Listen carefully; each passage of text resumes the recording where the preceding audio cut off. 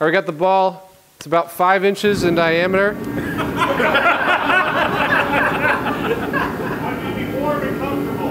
It smells like kerosene in here.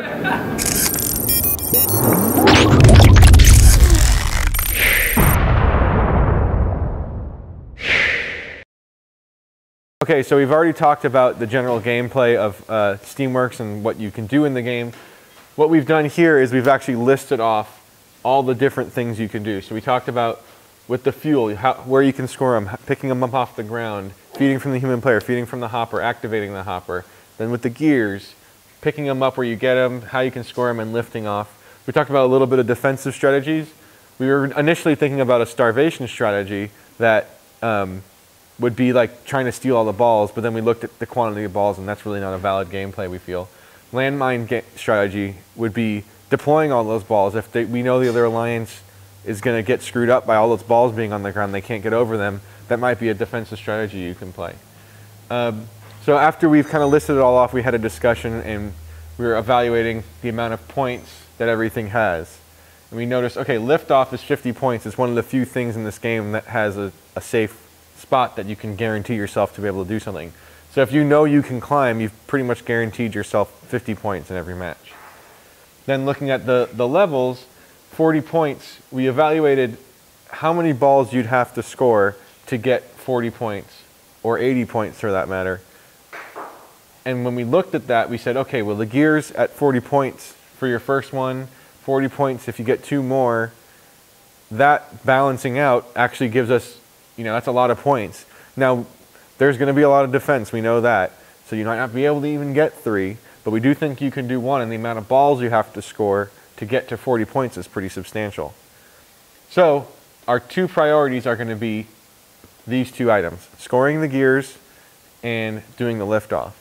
But we do feel that there is a, a very big turning point. After you get that, you can maybe get three, but to then you have to get that four more, four more gears. Might not be possible even in the time physically.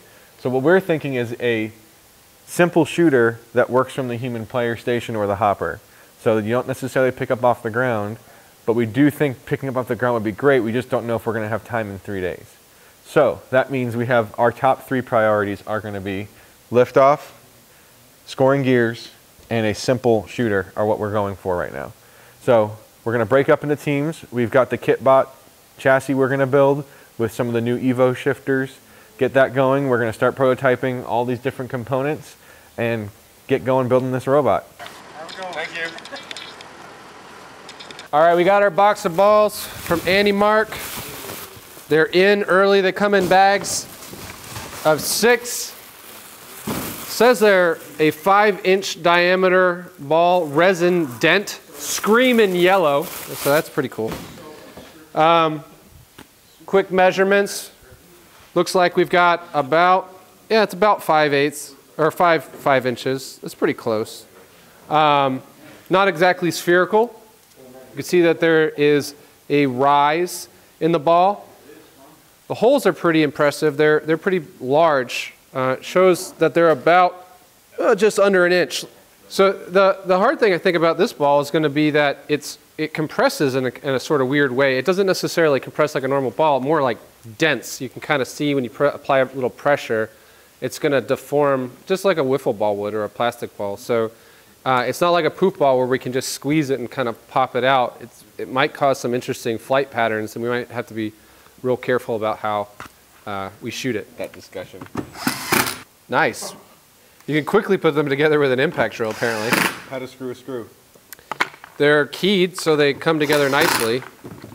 Someone did some engineering work on these.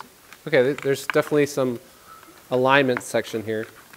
Nicely injection molded. Yeah, these are a pretty decent design. These are custom. I imagine you could 3D print these if you had a large enough printer but it's probably cheaper just to buy them. I don't know, what did you say? It's about 12 inches in diameter? That's what the spec says. For teams who are working in their own strategy sessions today, I would recommend that you guys really look close at all of this. Do some, some, some very detailed analyses on how many balls you think you can score uh, in, in the time frame, or for that matter, how many gears you think you can you can score. Look at think about defense. It's not going to be a field that robots aren't going to be able to hit you. It's a big, it's a relatively open playing field except for the key.